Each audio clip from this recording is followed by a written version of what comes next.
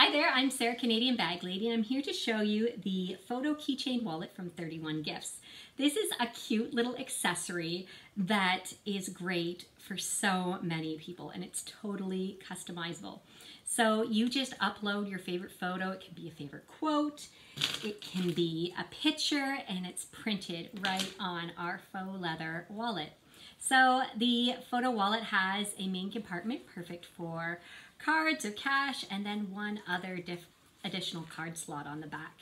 And then it has your favorite photo. So some people use this as like a bag charm or whatever. You could like totally put a mask or another small item in there and just attach it to your bag. Makes a great gift.